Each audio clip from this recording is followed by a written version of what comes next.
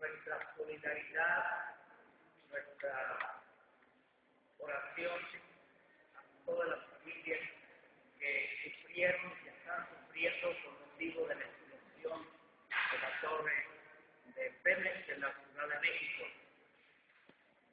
Sin duda esto es un llamado a tener siempre muy presente las obras humanas nunca son perfectas. Por lo cual es muy importante eh, que todos los trabajos de las personas eh, se cuiden, se hagan con responsabilidad. No quiere decir que hayan sido irresponsables, sino más bien el que nada sea perfecto en nuestras obras nos pide estar más atentos, más cuidadosos y a todos los demás siempre prevenir los accidentes que pueden pasar, por lo cual se un llamado. A lo mejor hay situaciones de daños, de vidas y de muertes por otras acciones que son responsables. ¿Cuántos muertos a la semana en el país por motivo del alcoholismo? ¿Cuántos muertos al fin de semana, los fines de semana, también por motivos de violencia? ¿Cuántos daños? Es un llamado a la irresponsabilidad.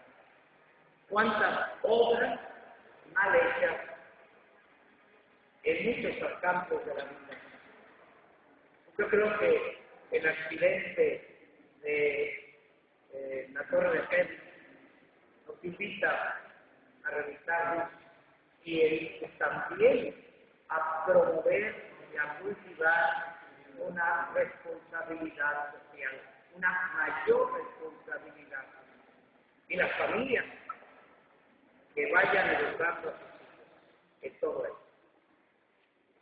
que los hombres de ciencia, que los técnicos no crean que lo que realizan es perfecto, que hay un margen que queda también a otras que no se pueden prever.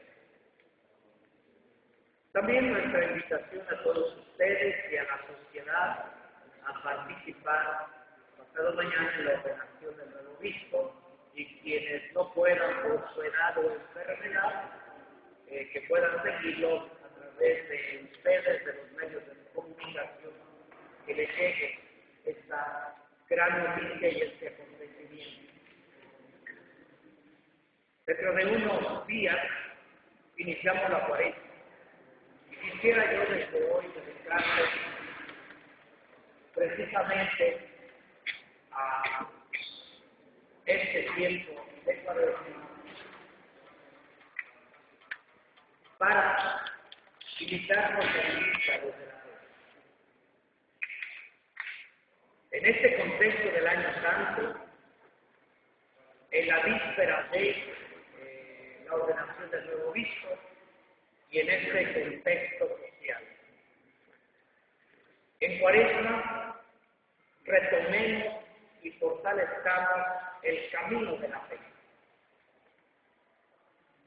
El año de la fe ha sido convocado con una finalidad precisa, profundizar, renovar y confesar nuestra fe en Jesucristo. Un año en que todos bautizados, cada familia y comunidad cristiana, vamos a esforzarnos por fortalecer las debilidades y llenar los vacíos en la vivencia cristiana hasta mostrar la, la integridad y belleza de la fe. Esto lo lograremos centrándonos en lo fundamental y en la columna vertebral del camino de la fe, que es el encuentro con Jesucristo, la conversión, el seguimiento, lección y misión. El camino de la fe dura toda la vida, porque en el seguimiento y atención a Jesucristo siempre podremos crecer. Nunca agotaremos su grande amor. En el contexto del año de la fe, al comienzo del nuevo año y a unos cuantos días de iniciar la cuaresma, el Señor nos muestra que camina con nosotros y nos guía. Una señal clara es la ordenación episcopal de nuestro obispo. Un estímulo para retomar y fortalecer el camino de la fe, para apretar el paso y caminar más cerca de Jesucristo, viviendo el sentido de la cuaresma como camino hacia la paz. El camino de la fe es un peregrinar hacia Dios. El camino de la fe inicia con el sacramento del bautismo. Ya en uso de razón, el bautizado continúa conscientemente este camino por el encuentro con Jesucristo y a través de la iniciación cristiana en la que renueva su bautismo, recibe los sacramentos de la confirmación y de la Eucaristía, integrándose activamente en la comunidad de la Iglesia. Es en el camino de la iniciación cristiana donde el bautizado conoce su identidad cristiana adquiere el sentido de pertenencia a la iglesia, familia de Dios, en la que gradualmente va descubriendo y asumiendo su misión. En este camino de fe, la familia, la capilla del barrio, comunidad y la parroquia son fundamentales para la educación integral de la vida cristiana por su función complementaria. Es aquí donde la fe nace y si se cultiva bien, crece y madura hasta dar mucho fruto. La misma celebración dominical, el sacramento de la confesión y la formación serán el alimento y el aseo cotidiano absolutamente necesarios para el mantenimiento y maduración de la fe durante toda la vida.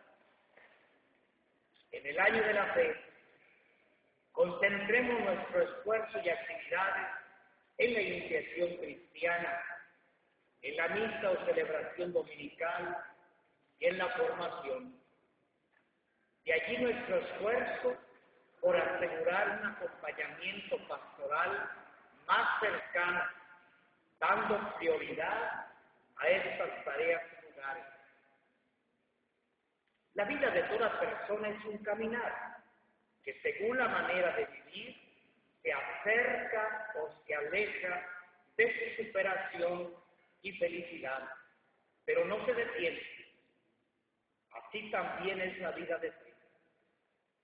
Es en ese sentido que las procesiones y peregrinaciones tan frecuentes en la liturgia y en la piedad popular, han de ser más valoradas y articuladas al camino de la fe, porque son en realidad un llamado de Dios o una respuesta del creyente para crecer en la fe y avanzar en el seguimiento de Jesucristo hasta llegar a la vida plena con Dios.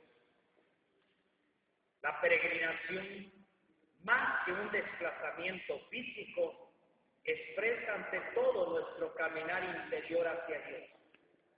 Los trabajos y sacrificios que comporta desde la preparación, el esfuerzo, cansancio, gastos, dejar tareas cotidianas caminar con otras personas son expresiones que han de estimular nuestro caminar espiritual del mal al bien, de la lejanía a la cercanía y adhesión a Dios, de la indiferencia a la participación activa, del individualismo a la vida fraterna, del desconocimiento a saber dar, a saber dar razón de nuestra fe.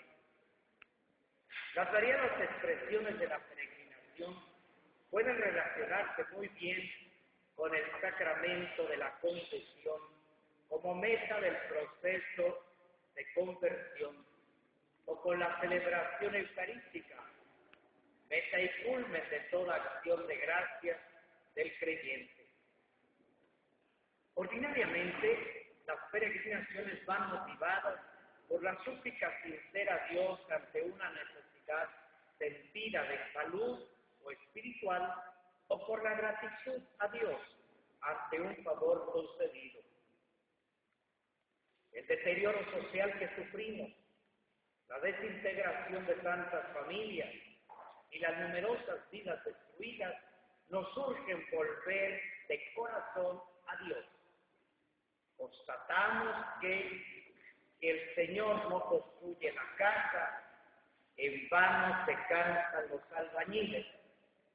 Si el Señor no guarda la ciudad, en vano vigilan los centinelas. Es una frase del Salmo 120. Ante la densa oscuridad que nos rodea, avivemos y levantemos la luz de la fe. Con mi saludo y bendición para todos.